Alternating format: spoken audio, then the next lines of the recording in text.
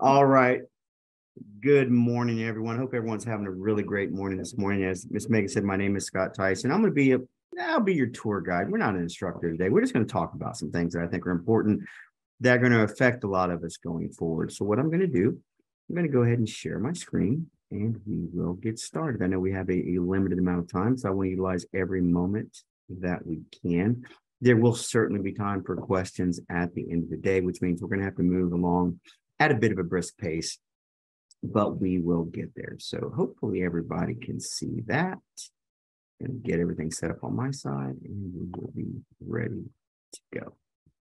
All right. Well, just as the title slide says, we are going to be talking about navigating the MUTCD and we're going to talk about the 2023 updates, which are soon to drop. And we'll talk all about that. And then the last thing we're going to do today is just as Ms. Megan said, we are going to talk about here are the changes that are anticipated for every part of the MUTCD. Again, that'll be towards the end, and then we'll have time for some questions.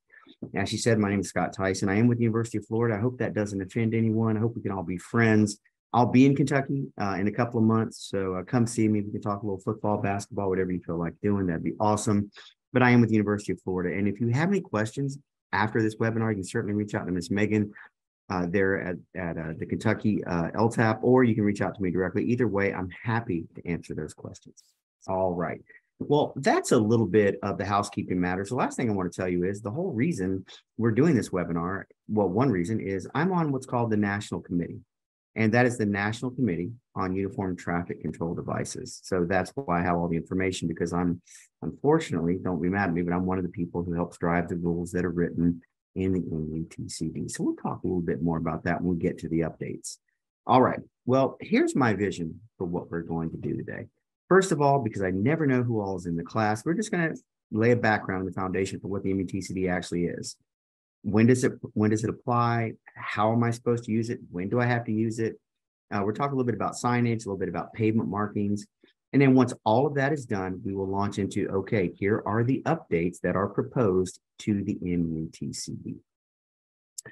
All right. Well, first and foremost, I keep saying MUTCD. If you're not familiar with it, that is the manual on uniform traffic control devices. And if you don't mind, I just want to ask a question to you all if you want to be as interactive as possible.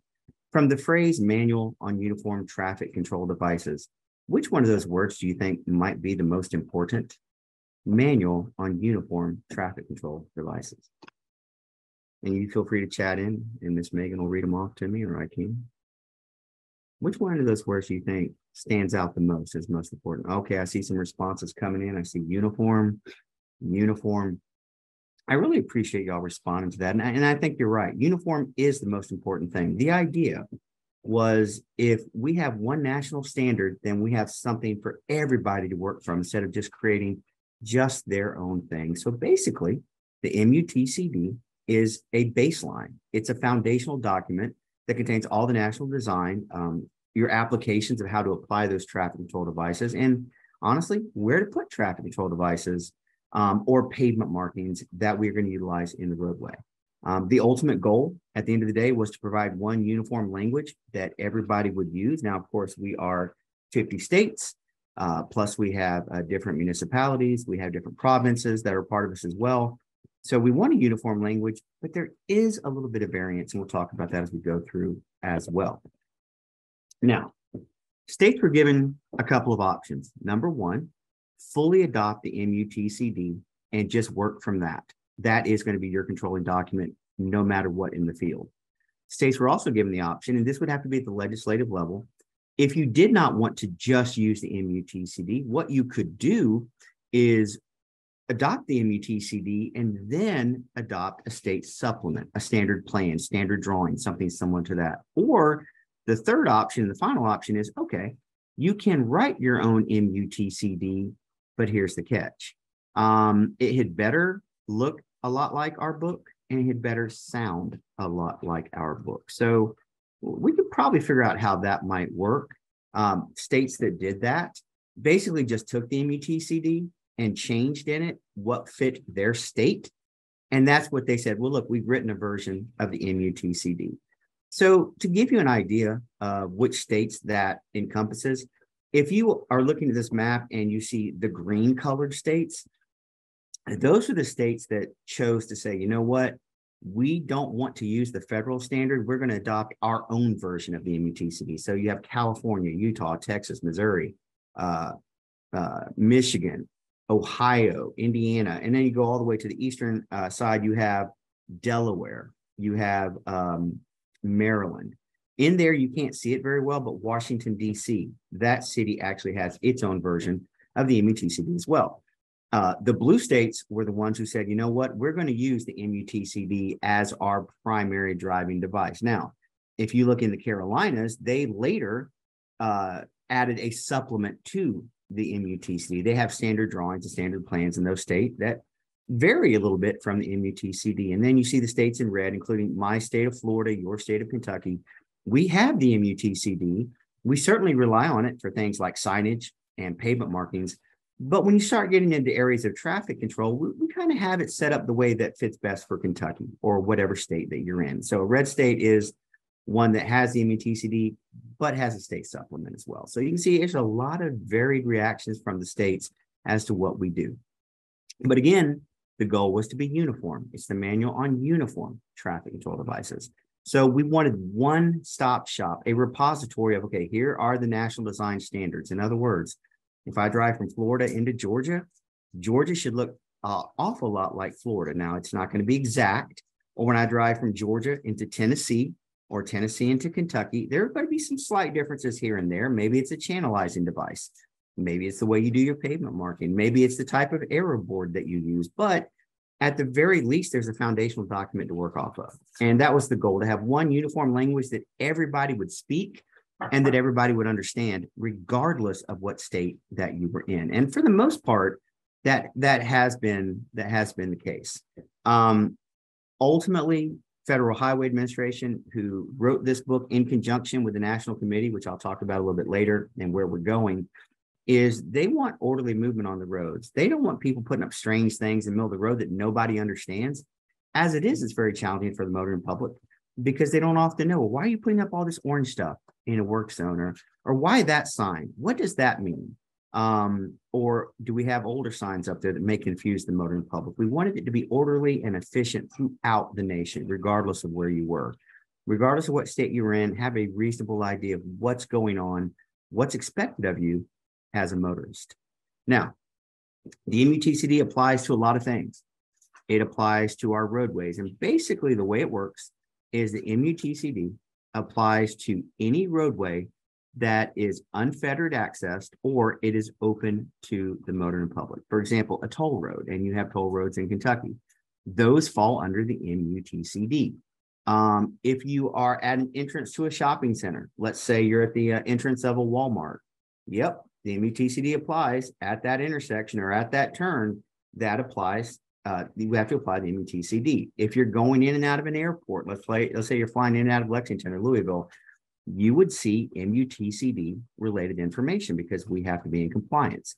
Uh, if you're coming into Rupp Arena or Freedom Hall or the Yum Center, wherever you're going, whatever team you follow, you're going to have to have MUTCD compliant devices on the way into those places or as you're leaving those particular places. If you have theme parks or a recreational facility, if you're going to a state park, those have to be compliant with the MUTCD. Um, let me ask of you this and let respond in chat. What about what about a military installation? Does a military installation have to be in compliance with the MUTCD? Let me know what you think. Does a military installation need to be MUTCD compliant? And we'll see what everybody comes up with. And we have some chats coming in, so I'll give a minute for those to accumulate, and then we'll take a look at them. Ah, here we go, some good numbers. So I'll go ahead and, and step in there. Um, so we have we have a varied uh, series of opinions, which is wonderful. Some say absolutely not. Some say uh, maybe. Some have we have some yeses. Some are talking about no, it's federal or or it's open to the public. So let's kind of break that down for just a moment. Again, this is just a little bit of extra uh, benefit to come into this course.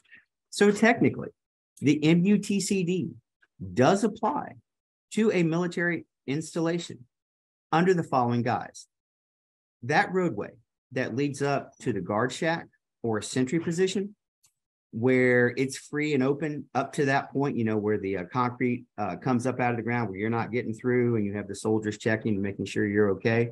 Up to that point, the MUTCD is applicable on that roadway. But at that point, where the, mo- the motoring public does not have unfettered access, then at that point, the MUTCD does not apply at that guard shack or at that sentry position. However, let's say you get beyond that and you have to travel on base. I do that a lot for uh, some training that I do. Well, once I'm on the military base itself and I'm free to drive around where I need to go, at that point, the MUTCD does actually kick in in those areas as well. For example, if they're doing traffic control, it needs to look like the MUTCD. Uh, their pavement markings need to be reflective of the MUTCD.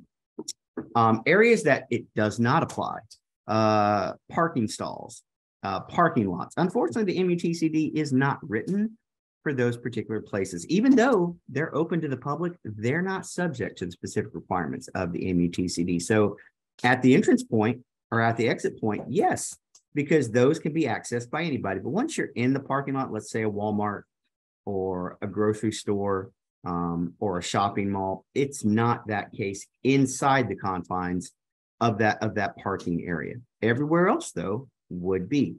But let me ask you a question. Let's take that one step further and then we'll move on. What about a roadway like this? Is something like this required to be MUTCD compliant? What do you think? We'll give everybody just a couple of moments to chat in.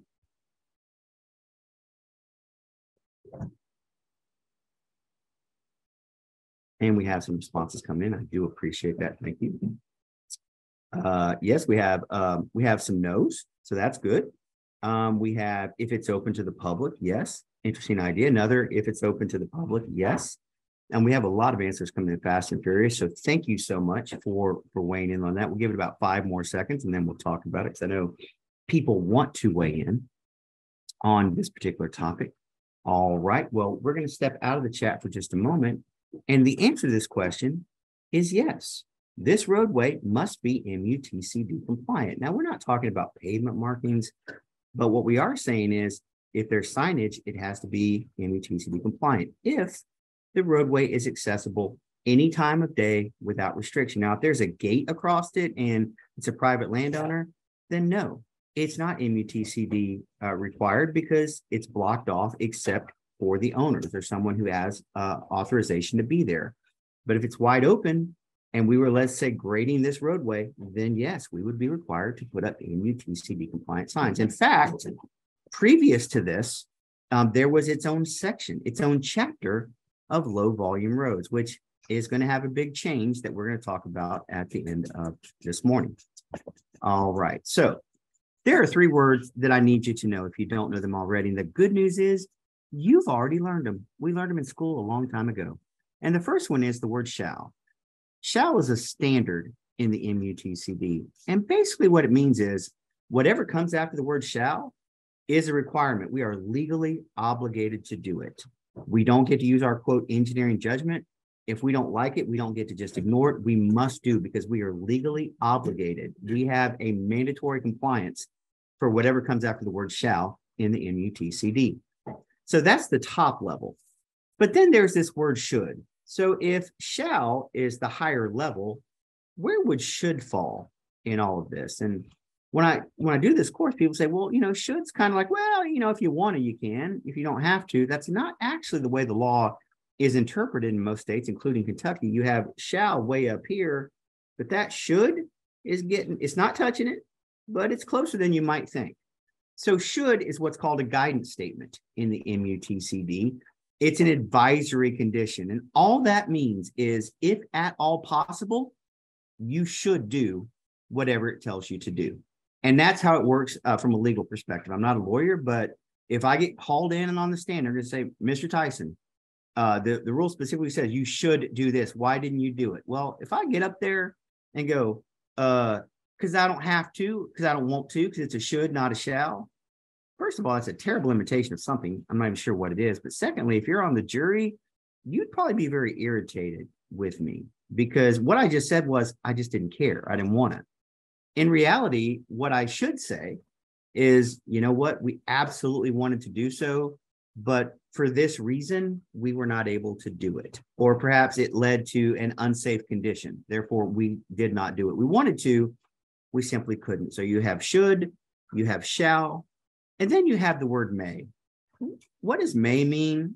Eh, you can, you can't. It's basically an option. It becomes an option statement. It's permissible, but it's not required. Now, when I say that, people go, well, we ignore anything that comes after the word may. Can I just tell you, sometimes the MUTCD, when you see a may condition, when you read it, it's actually easier and probably better in some cases, not all, than what that shall condition actually turns out to be. All right, so let's talk about um, who can, who uh, needs to know all about this. All right, so the MUTCD has a bunch of chapters, or it's called parts. All right, it has nine parts or nine chapters. Chapter number one, or part number one, is just general information and general notes. However, it's got changes that we're going to talk about at the end of the day. Part two covers signage. And when I say signs, we have the whole list of here, everything it covers. It has general notes on our signage. And then it has regulatory signs, uh, barricades, gates, uh, warning signs, object markers, and then there are guidance signs, and some of them are just on conventional roads or local roads. And then some of them are freeways or expressways, or what we would consider to be um, limited access roadways. Uh, we have toll roads that actually have specific guidance, uh, managed lanes, hot lanes, general sign information. And then finally, there's a section here at the bottom that talks about um, portable changeable message signs, a PCMS, or a recreational sign, or a cultural sign um, things that are not maybe necessarily at our primary focus, but they are covered in the MUTCD. And again, we'll cover some of that towards the end of the morning. We jump to part three or chapter three, and that is a section devoted to pavement markings. Uh, part four uh, discusses specifically highway traffic signs. Um, part five would be a traffic control device for a low volume road. When we say low volume roads, we mean the roads that don't get a lot of traffic um, maybe mm, 400 cars a day, give or take. And every state has a little bit different interpretation of what low volume is, but something roughly in that in that category. Part six or chapter six is the committee that I'm responsible for, and that is your temporary traffic control, your cones, your drums, your barricades, whatever it is you're putting out there to control traffic in a work zone. Well, that's my committee. That's what we work on. Uh, you have part seven, which is traffic control for your school zone, what kind of signs do you need for your signs? What what kind of spacing do you need? That's in there. And then you have chapter eight, which is traffic control for railroads, or if you have some type of light rail, it covers that. And there are some changes coming to that as well. And then finally, part nine, which again will have changes, is traffic control for bicycle facilities, specifically designed bicycle facilities. All right, well, let's talk just for a minute about signs if we could. And when I talk about signs, uh, this is not really what we're talking about here. Um, I guess I should give them credit. I mean, they put a chunk of concrete to ballast the handcart. They it appears to be a metal pole and or a baseball bat, uh, kind of in the back so it doesn't roll. So again, some southern ingenuity, obviously. And they did spell the words correctly. I guess there's that. But in reality, you know as well as I do, this is not approved by the MUTCD. There's nothing about this that would be. But unfortunately, sometimes people don't know or haven't been told, or in some cases have been doing stuff for so long, it's not a big deal to them. Now, hopefully, not to this level. So let's talk about signs real quickly and just kind of what we're looking at. So there are really three main classifications of signage. Now, different states may break these out a little bit more, but the MUTCD has three classes here. You have what are regulatory signs, warning signs, and guide signs. When we talk about regulatory signs, you see the top two here. You see the sign, it is rectangular in shape. It's got, it's a white background, black letters, black border. If you see one of those signs, for example, it has a speed limit sign, that's regulatory, which means if you don't follow specifically what it says, then you have violated your legal, obligation. In other words, the cop's going to pull you over and give you a ticket because they have the legal authority to do it because of what this signage means.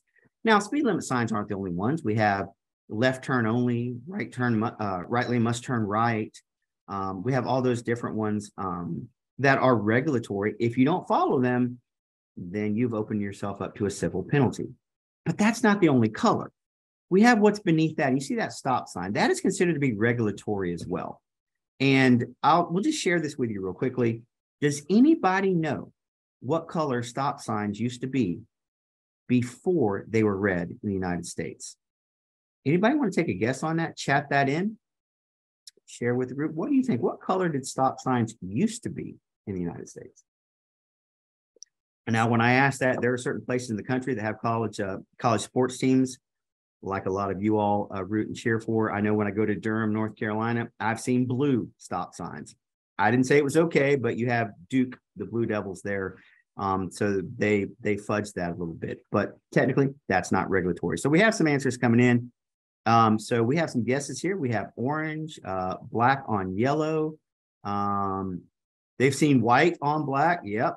Um, actually, to, to be completely candid with you, I, I go to um, a grocery store in certain places and they'll have that black stop sign with the white letters on it. And it's not retroreflective. You're not going to see it at night. It's wooden. And that completely terrifies me, but we'll set that aside for the discussions today. But for those of you that guessed yellow, you are correct. At one time, our stop signs in the United States were yellow. And let me add one more thing to it they were round, they weren't even octagonal in shape. And in the 30s and the 40s, Federal Highway Administration got together with the states. There was great concern about nobody was stopping. And here's why. Do y'all see that yellow sign down there? It says warning. That's the color they were. And so it basically read like this I'm driving down the roadway in 1938 or 37, we'll just make up a number. And I'm talking to my wife who's sitting uh, beside me uh, in the Model T or whatever we're driving. I'm like, honey, look, there's a stop condition up ahead. That's interesting. And then we just keep on going because there was no legal authority to hold us to actually stop at that stop sign. And so what the MUTCD said for the very first time, and remember, how fast were those cars going? Not super fast. How good were the roads? Not really good, but there was already concern about excessive speed and not stopping in a safe manner. So in 1948, that version of the MUTCD was released and it said a stop sign shall be octagonal in shape, brand new shape, with a red background and white lettering. And from there forward, that has to be the stop sign. It has to be the shape of our stop flow paddle. If we're in a flagging operation, it's got to look that way because the MUTCD specifically says so. And, and by the way, don't think they didn't pick red on purpose because it was the color of a stop signal at a signalized intersection. So that's why they did it. Hopefully, people make that correlation. Um, so outside of regulatory signs, we also have warning signs. We have the orange ones right here. These orange warning signs are for a work zone only, an active work zone. So you have the be prepared to stop. We'll have road work ahead, utility work ahead, survey crew ahead, um, and a flagging operation, one lane road, the flagger symbol sign, all different types of orange warning signs, but they are specific to a temporary traffic control situation. In other words, the work zone's not going to be there forever. It has a limited amount of time, whether it be a couple of hours, a couple of days, a couple of months, maybe even a year. Uh, it certainly can be that way as well. We have the yellow warning signs, which I just talked about the stop sign a minute ago. Um, yellow warning signs are simply a warning condition. In other words, unless we come out here and change the curvature of this roadway for this particular sign we're showing, uh, that roadway is going to look that way until we change it. So this warning sign would always be applicable until we change the road, and then we would have to take it out or put a different sign in. We have the green signs, which are guidance signs. If we're going down a highway or down the interstate, you're looking um, to know, well, what exit do I get off on? Or if you come in a in a larger metropolitan area, you come to an intersection where it says uh, left, uh, turn left, and it's this road, turn right, it's that road. It's one road with two names. Very confusing for people. Or if you have big intersections, um, they may say next intersection is uh, Gardner Drive or something like that. Uh, we have guidance signs, which are the blue ones. Um, they are more informational, but we classify them as guide signs in the MUTCD or historical or natural uh, information does get classified as a guidance sign as well um, with that uh, brown shape. There are about three or four colors in MUTCD we don't use for signs simply because we haven't created that particular category of signs. Now, why does the MUTCD matter? Because, and these numbers need to be updated as we get the 2022 numbers, but right now, uh, in 2020, we had 36,000 people die on our highways. And 25% of those folks were in horizontal, horizontal curves. And you look at this and it becomes very clear why. Oh, we've got those chevrons out there and they're supposed to be retroreflective, but at night on that kind of curve, um, the lighting's got to be good People have to be focused, not playing on their phone, not drowsy driving, not distracted. A lot of things at play here. And the MUTCD specifically tells us, well, what do the chevrons need to look like? What size do they need to be? Um, the average crash rate is three times what it is in another highway segment. So three times what you would find on, let's say, a straight road. One more I want to give you here on that is something like this. Again, in a more mountainous area um, or a pass, yeah, you need this kind of stuff, especially for sharp curves. But again, no light out there, especially at night. So some very dangerous opportunities. Um, the question becomes, um, oh, um, and Miss Megan, will you hold me to this? Uh, John asked a question about when our change is required. Will you make sure we cover that at the end, please? Um, I'd appreciate it. John, we will get to that, I promise. So in terms of the MUTCD, um, they determine for a traffic control device to be effective, you got to meet five requirements. Okay, it's got to have a need. So don't just throw stuff out there by the road if there's no purpose to it, because then you're just cluttering up your clear zone or the roadway. You got to get people's attention, which is really hard because everyone's on their phone. Or if it's me, I'm fussing with my kids in the back seat, or I'm eating, or whatever, playing with my radio. Um, we've all seen different things. People going down the road um, I don't know, maybe on a call on their phone, um, texting, messaging, whatever. Um, all these different distractions, maybe shaving, maybe putting on makeup. Everybody does different things. But in the middle of all that, that's why our devices are so important because we have to, to pop and stand out to people. When we get their attention finally, it's got to be very clear, a very simple meaning. Hopefully, we get their respect. That means our stuff looks correct. It's clean. It's not beat up and, and no longer retroreflective, which means light shines back to the motorist, which we'll cover here in just one second. Or it looks like we know what we're actually doing, or we're supposed to be working. We're professional in what we're doing. And ultimately, all that is great. But if you don't give me time to figure out what's going on and tell me what to do, I, am not going to know what to do. And so we have to give the motorist time to read, to understand, and then react to what it is we're asking them to do. Um, we want to make sure that our stuff is retroreflective at night. Uh, sign color, sign shape is important, obviously. But on top of that, um, you want to make sure that things are retroreflective. What literally means light hits that retroreflective material, light shines back to the light source. That should be our signs. This stop sign should light up like 12 o'clock noon in the middle of the day. It pitch black dark at night. Now think about how many signs in your area, maybe where you live or, or where you travel, where if you come up at night, you know there's a stop sign there. But if you didn't, you might not see it if there wasn't a really good light there.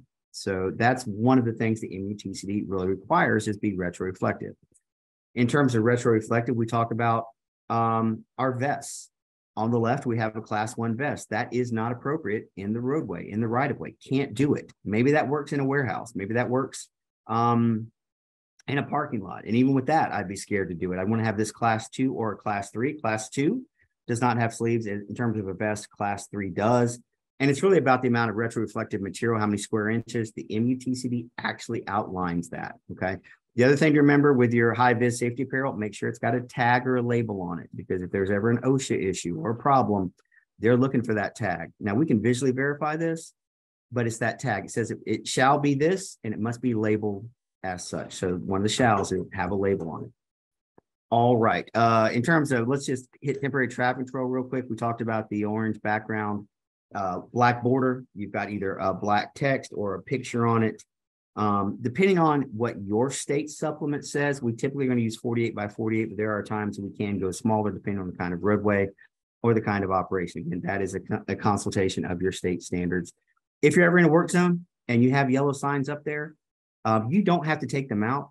You don't have to cover them as long as they're still applicable. If this road ain't changing shape, leave it up there. Just don't put your signs so close together that people can't see them. The MUTCD does not allow for that.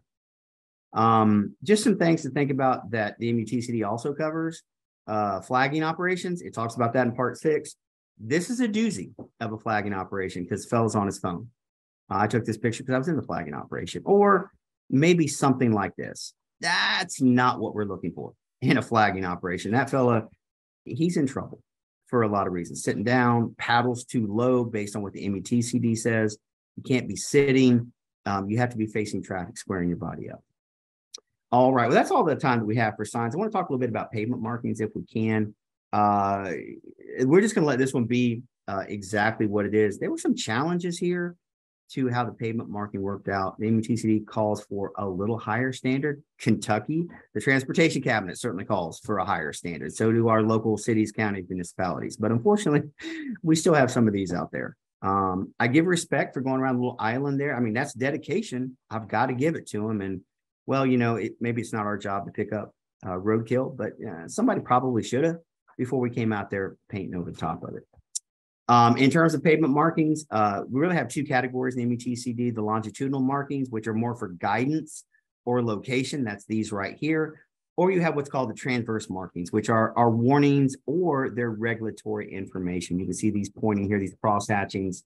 Um, or you may have lanes that say, hey, straight through or turn left. Or you may have a roadway number painted on the pavement. For example, uh, interstate, let's say Interstate 75. All right, well, we would have the Interstate 75 logo and designation on the pavement to let you know which lane you're in or which lane you need to get in. Okay.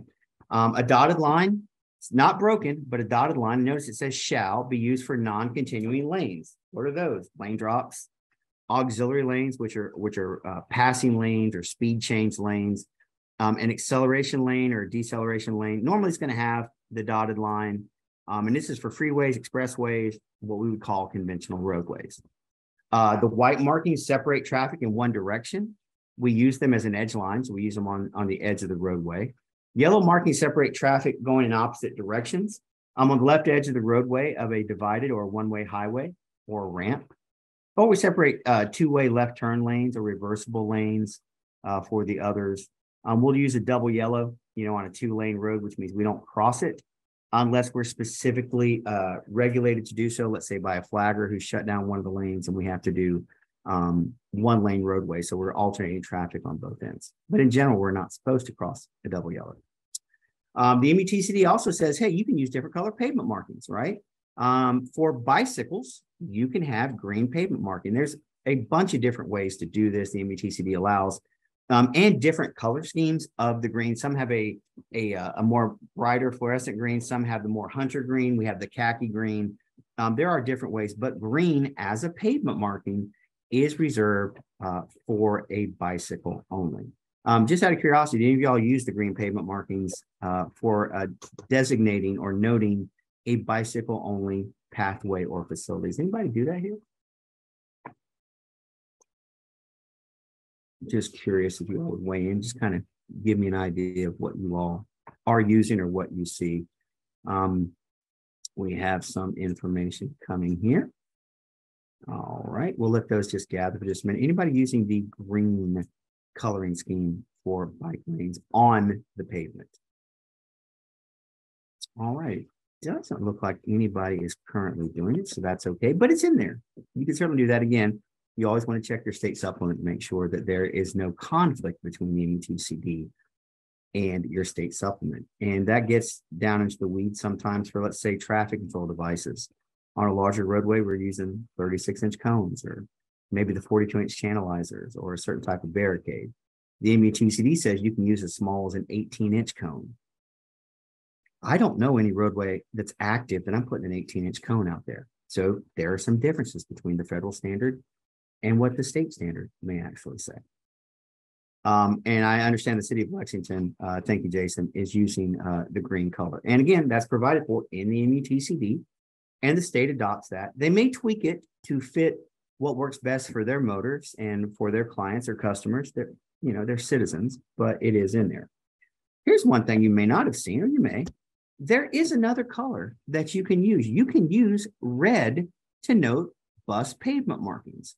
Um, now, you don't see this a lot all over the country, but it is out there in a couple of spots. I know in North Carolina, I've seen it a couple of times. I've actually seen it over in Missouri a couple of times. So that red, which is now think about it, typically red is a stop condition, right?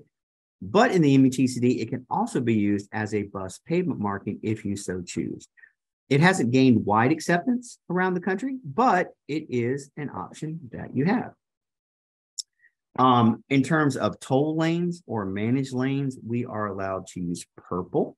Purple is specifically designed for those toll roads in terms of pavement markings. And if you look really close, you'll see it's not just the color, it's actually the travel lanes themselves are striped.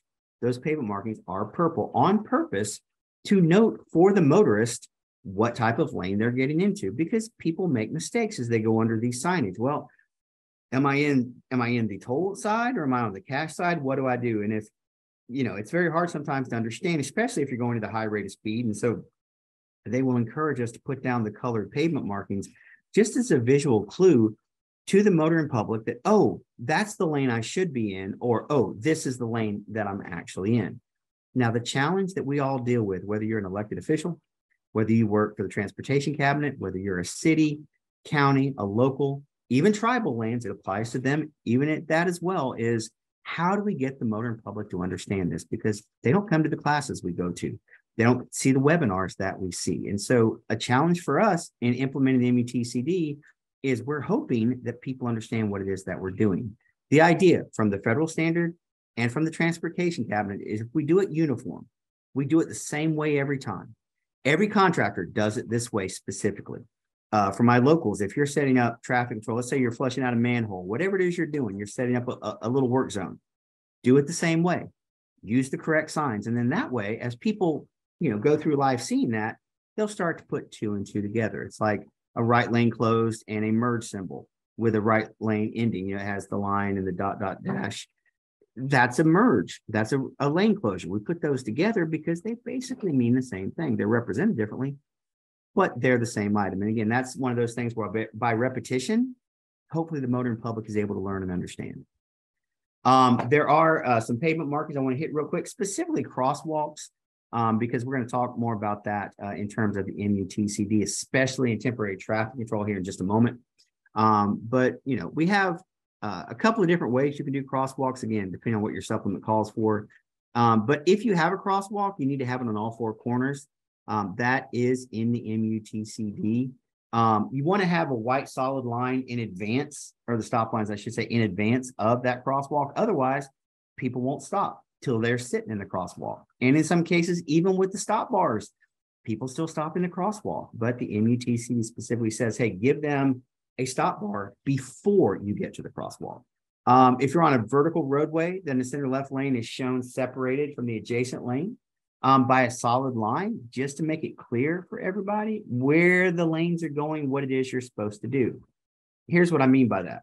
There are really three different kinds of crosswalks that we'll ever deal with. We have the top one here, which is longitudinal. We have the diagonal to the right, or we have the continental at the bottom. All of those are approved at the MUTCD level.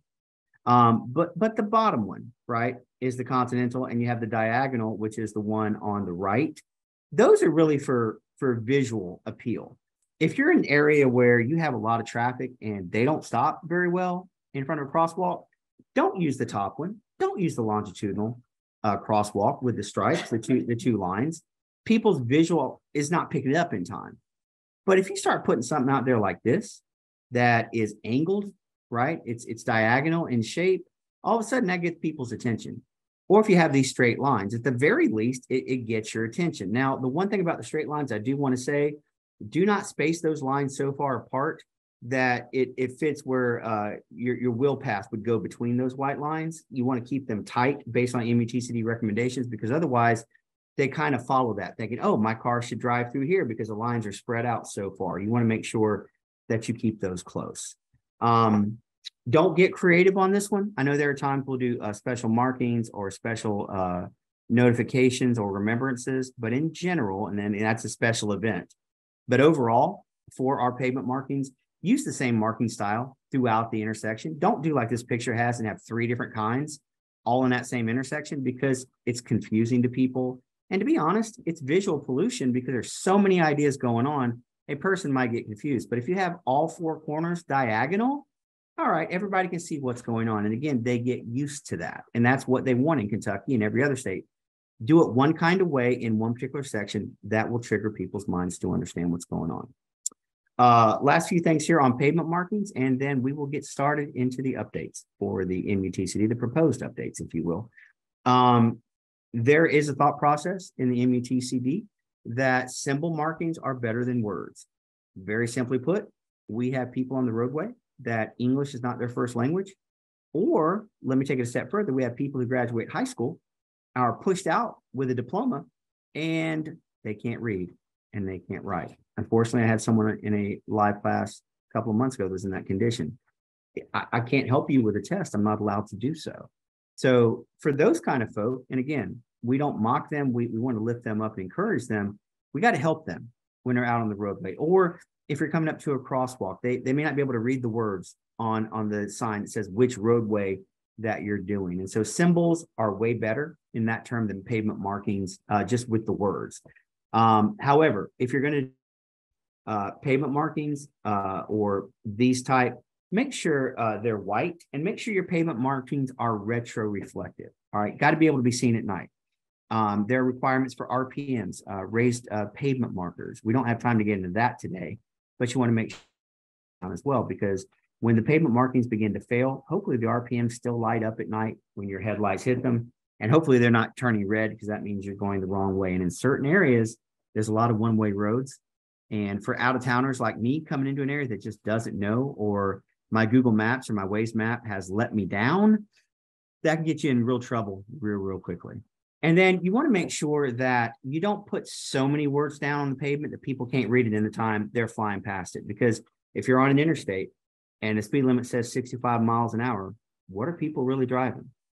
70, 75, 80 miles per hour? You're not going to read five rows of text going that fast down the road. So it says no more than three rows of text, and it's got to fit inside the one lane. Please do not put words down that take up a bunch of lanes because there's so many letters to it. Those letters, those words individually must fit within a single travel lane. Now, you may put them in more than one travel lane, that whole message, but you just can't have them spreading out, one just kind of growing tentacles and growing out into all of them. They would have to be specifically designed and placed into each travel lane and able to be read. All right. Well, having said that, let's kind of get to thinking about what the 2023 update is going to look like. First of all, let me give you here is the way it works. So I'm on the national committee. I told you that earlier. The national committee, based on research, based on uh, local agencies reaching out to us with issues and problems and needing clarification or thinking, hey, this might be a better way of doing things, we'll reach out to our committee. Uh, my committee meets in January uh, in DC every year. And then we have a midsummer or a mid-year meeting uh, somewhere else. Uh, this year it's in Tacoma, Washington. I think next year it's in Delaware. Regardless, we have two meetings a year. Plus, we have monthly and in some cases weekly conference calls, depending on what's going on. Things come to my committee. We wordsmith it, we write it, and then we submit it to what's called our sponsors. The sponsors are groups like APWA, American Public Works Association, ATSSA, American Traffic uh, Safety Services Association. All these national groups, there's 34 sponsors. We send those rules out to them and they look at them and they apply them to what they do for a living. And they'll they'll make changes, or sometimes they'll come back and say, "Hey, great idea." The sponsors all sign off on it. Regardless of how it works, once the sponsors are good with it, it comes back to us. We take it and make sure, hey, we're still good with it, and then it gets forwarded on to Federal Highway. At that point, Federal Highway looks at it and says, "All right, let's make a decision on it." And if we agree with it, we'll place it in the next version of the MUTCD. Now, the most recent version of the MUTCD is printed in 2009. They did some textual updates in 2012, but it didn't trigger a new manual. So uh, let's see, Miss Megan, let's do a little math this morning. We're in 2023. That was 2009. So what's that? 14 years since the last book came out. So there's a lot of updates that are going to come. Uh, last I heard, there were something like 400 updates that were submitted to Federal Highway. The issue is we're not going to know what they fully are until they come out but I do have the list of the major things that are expected. What will happen is when the new book comes out, mm, I'm going to spend about two weeks going through it with a fine tooth comb, lining up what the old book was and here were the changes and just kind of make sure what got in and what did not, because that's going to affect our courses, but it also affects us all in our daily work anyway. So we will do that. There was a, a bill signed in Congress a year and a half ago that simply said, and as part of this, the MUTCD will be updated and will be printed no later than May of 2023. That is a self imposed deadline by the federal government. Will it hold? I don't know. But my guesstimate is probably sometime in early to mid June is when they'll finally release it and say it's ready, right about the time we have our mid year meeting. Um, if you're interested in getting involved with the National Committee, I'm sorry that it doesn't pay anything, but it's pretty awesome to do. Um, so if you want to do that, reach out to Miss Megan and I can get all that information, everybody. Um, you can follow up with that. There's an application process. Um, you have to come to the meetings every year, otherwise they will not let you on the committee. They want you to be active. Uh, I'm on a task force and such as that. Well, several actually, um, for specific things. All right, we waited long enough. Let's do it. Here come the updates. Here we go. All right. So we are working on the 11th edition. Our job's been done for two years now, more than that. Some of these rules go back three, four, and five years that they were written and proposed. Now here they come, hopefully. So part one was general news or general information, general notes. Well, here's what's coming for part one, and that is simply this. Um, they want to put in that in that manual that any uh, document that is an addition to the MUTCD, by that I mean our state supplement, our standard drawings. Um, we have a flip book in Kentucky that has all of that information. You know, let's say I'm doing a flagging operation or doing work zone stuff. You know, we have the flip book that give us the outline of what's our sign space and all of those things. If it is a document or a manual that we create and we use as a state, they want to specifically clarify in chapter one that that is a supplement and it had better look and sound a whole lot like the MUTCD, which honestly, the terminology is pretty much the same across state lines. So we're going to be okay with that substantial compliance. In other words, we can't just write crazy things and say, well, it's our supplement, we'll do what we want. Uh, the federal government says there are limits to what the states can do with that. Um, how many of you live or work in an area, a small town, that has a really nice welcome. Welcome to this town, and maybe you have uh, a beautiful sign out there. Um, some places will put like boulders or tr- plant trees or certain things to really beautify the entrance to that town to to make it look as good as possible. We want tourism. We want to be proud of where we live and where we work. Um, there's going to be some rules and regulations. Um, what year was last update? Um, Brian asked. Uh, that was 2009 was the last update. So there's a whole lot of stuff fixing to come about to come our way. I say fixing, my grandmama and me. So they're going to put some specific restrictions on our welcome signs, uh, how big they can be, uh, how large the lettering can be, what is the font or what is the design of those letters. Uh, that's going to be coming as well. So there's going to be a lot of stuff just in terms of that. Okay. Uh, part two or chapter two, if you will, um, is going to cover signage. Here's a big thing. It's a little esoteric. It's kind of out there, but let's try to bring it all in. Using our speed limit signs, and I'm not on the sign committee for this, but I'll tell you what it is. They want us as a state practitioner, as a local, as a contractor to use our speed limit signs to create what we would call a speed culture. What that simply means is they want us to use those signs to help change the attitude of the motorist. That may mean putting out more speed limit signs more closely. That may be looking at the speed of our roads and say, are they appropriate for the amount of traffic that we have? Um, are they appropriate for the width of the travel lanes that we have or for the layout of the roadway? They're going to ask us to use signs to help build a speed culture because right now we have a speeding culture. They want us to create a safer speed culture by utilizing our, our speed limit signs a little bit more actively. Um, there'll be some changes coming to the horizontal alignment warning signs like this. It's going to look a little bit different, more than likely, for what we've been doing previously. And then um, our PCMS, you know, those portable changeable message signs that we have, there's going to be some rules coming down about what we can say, what we can't say, especially related to a non traffic control situation. Okay um, I go to different states and they give the fatality statistics, right? On those uh, dynamic message signs. Well, if you're putting those on the, the changeable message signs, they don't want that, to be honest with you. And this really comes back to a complaint from an engineer in Tennessee from uh, University of Tennessee, Knoxville. So he's a Tennessee Vol grad who complained in Nashville uh, because a Vanderbilt grad had put anchor down, which is the Vandy fight slogan, and complained to Federal Highway that they should take a look at what signage we're using Federal Highway initially said, no, it's fine. States know what they're doing. But now they're coming back to it. So there's probably going to be some changes to that. In terms of pavement markings, uh, we're going to require six inch width lines if you're on a roadway that's greater than 40 miles an hour. And that's going to be re, uh, regarding autonomous vehicles, which we're about to get into in part five. Um, and then they're going to require chevrons for a gore area. Now, typically a gore area, that is that, that triangle, that V shape that we create. For example, if you're getting off a roadway and, and getting onto an exit, you don't have anything sitting in the middle. That's sort of a wide open area. Well, now they're going to be requiring chevrons in those gore areas just to give people a little bit more notice to get over. Or this roadway is going this way, so you better get in the right lane. Well, here, follow this, if you will. And again, that is specifically targeted at autonomous vehicles because they are taking pictures with their camera and trying it's trying to process all the time. Um, part four, we're going to have some signals. It's going to be specific to uh, the, the rectangular rapid flashing beacons, the RRFB. That's at crosswalks, but that's going to be something that's going to get updated. And they are actually adding specifically in the MUTCD a requirement for bike signals at intersections that have bikes. So that's going to be uh, very, very interesting. I don't know how cost effective it's going to be, but that's what they're doing. Here's probably one of the biggest changes of all. Part five is going away. I told you this morning that part five was low volume roads. It has its own section of how to deal with it.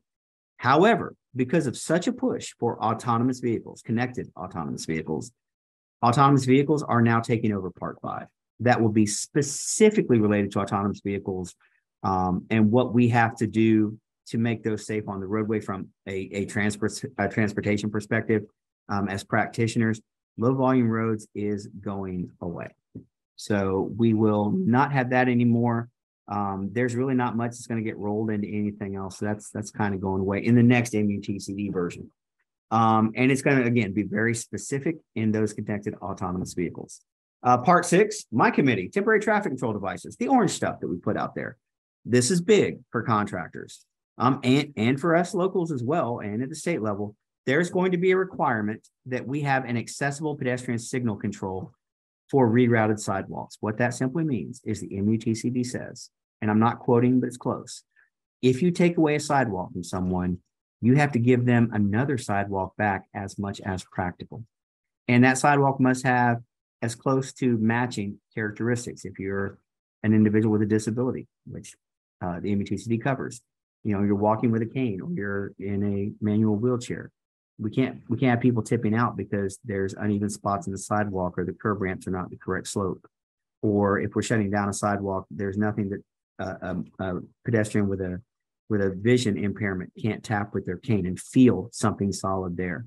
So to help with this, they're going to have us put in a uh, an accessible pedestrian signal for every time we reroute somebody on the sidewalk. That's going to, and it has to be auditory. Okay, for those who may have a vision issue, it's got to talk to them. So there's going to be some cost um, that's going to be coming with that. Uh, part seven covers schools. Uh, there are a few updates on that, but really nothing major. Um, part eight, which is rail, they want us to form what are called diagnostic teams uh, to determine what needs to be done at a highway rail crossing. So it's going to kind of increase the amount of paperwork and the amount of people involved in decision making around rail. Um, obviously, we have to work with the rail companies that own that as well, but they want a full team. It's called the diagnostic team. Um, and then part nine, which is the bicycles. Um, there's a lot going on here. There's going to be significant material on bikes, um, having separate bike lanes.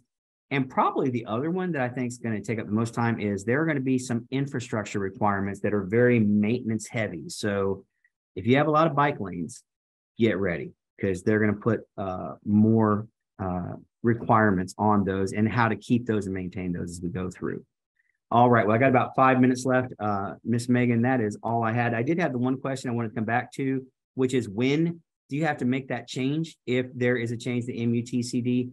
let's use schools for a moment. Uh, the school bus sign. How many of you still have the school bus stop ahead signs, the text, rather than the yellow green uh, school bus picture where the school bus is stopping? If you have those you haven't changed those, you don't have to run out and change them immediately. But if there's any rehab going on in that area, if there's paving operations or some type of maintenance in that area, at that point, they're going to require you to make that change. Um, but there is no predetermined time. It's as soon as practical is how the MUTCD is written um, for some of these changes. Unless it's like a retroreflective sign, then you need to make that change immediately if there's a problem. You can use a retroreflectometer to check those. But in general, you get an undetermined grace period unless it's something like a sign um, that needs to be addressed immediately or pavement markings that need to be addressed immediately. Um, those those are an immediate need. But for some of the others, it's as you can or as maintenance operations uh, take place in that particular area. All right, somebody else. Thank you, Scott. Any other questions today, guys? All right, we have one coming in. Will the updated version be available to the public without cost? Thousand percent yes. And Brian, that is a big old book to print. Um, if you only work in certain sections, like let's say you do do pavement markings, I would go into the um, just Google MUTCD and it'll take you to the federal highway website or just go to fhwa.org. It'll take you to MUTCD and you can print it out in PDF version, absolutely free. Just print the parts you want, or you can actually buy the book. But like I said, it's uh, you can't see very well with my thing, but it's about that thick with all nine parts, and it's going to get bigger because the one thing I didn't get to tell you is there's a lot more drawings that are going into that book. Right now, there are 46 what they call TAs, typical applications on normal roads. Expect about four or five drawings of nothing but roundabouts. Wow. How to do traffic control around roundabouts. If you don't like roundabouts, I'm sorry, but we're pushing forward with those. So there's a lot more emphasis on those you're going to see in the drawings as well. Yep. Okay. So Brian says he does part six. Yep. You absolutely can do that. And it's free. Um, so yeah, I would do that too. I have a PDF and I have the hard copy, but I'm gonna I'm gonna print a new hard copy um, when it comes out. Don't tell my bosses, but it's expensive, but we'll do it because we need it. It's worth it. Yes, ma'am, it certainly is. Plus, you look really smart when you whip out the book.